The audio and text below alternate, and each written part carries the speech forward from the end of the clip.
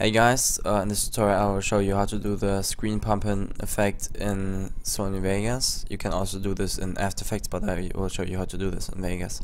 Uh, yeah, I already split the clip right where he shot, but yeah, it's not about syncing and other stuff, it's just about the screen pumping and maybe how to add some flashes to the beat uh, and the pumping, yeah.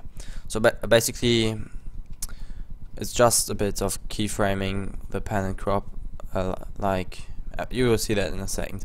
Yeah, I prepared this song uh, I will put the link in the description and let me just add some slow motion to the clip. So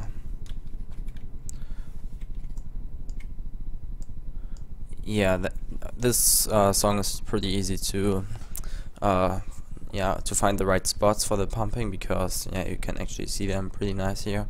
So yeah at the very first frame uh yeah you can add markers to the single syncing points but I don't really think I will have to do this but uh, because yeah you can obviously see them here.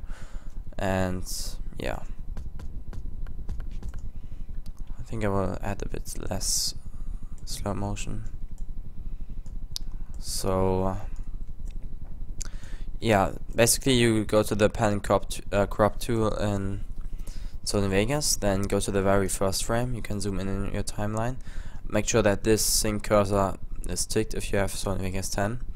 Yeah, then go to the frame where you where the first beat is, and then drag this in a bit. And you can also add some rotation if you want to, but you don't have to do that. Then go to just before the seconds uh, yeah keyframe thing marker and then drag this back to normal. You can hold shift while rotating and scaling this so that you can find the spot easier and then go to the spot where you want the pumping again and do the same thing again.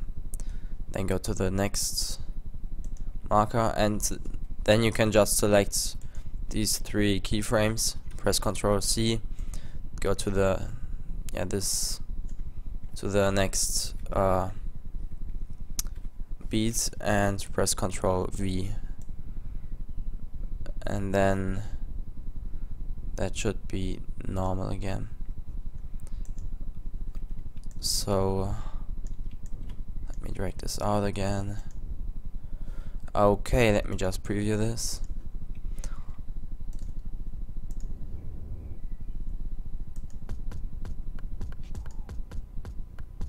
Looks pretty nice.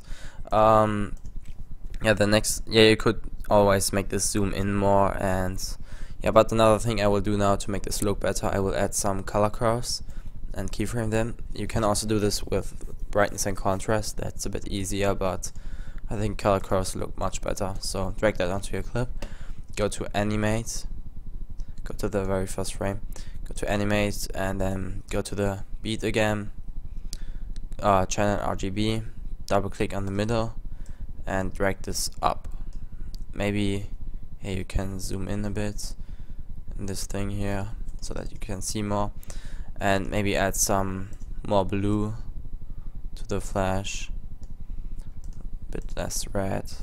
So that this or even more red. I know whatever you prefer. Then go to the uh, yeah spot where the with the next beat. Go to channel RGB again. Oh no this time you have to do this manually. When something like this is fucked up just drag this back.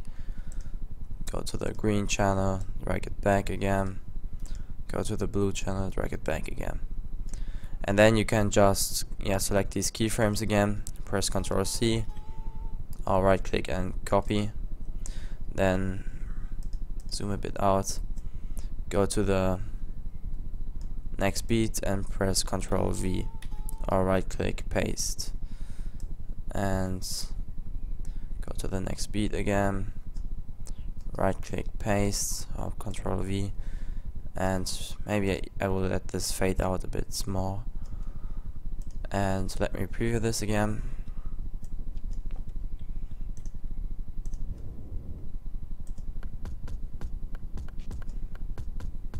that's basically it. Um, yeah, if you want, um, yeah, you can just continue doing this with all the other beats, but I won't do this in the, the, the tutorial because that will take too long. Yeah, uh, please like the video and also check out my other tutorials on my channel. And yeah, please also the 3D motion tracking and the masking tutorial. And please like them because I really want them to get a bit more views. So yeah, thanks for watching, like the video and bye.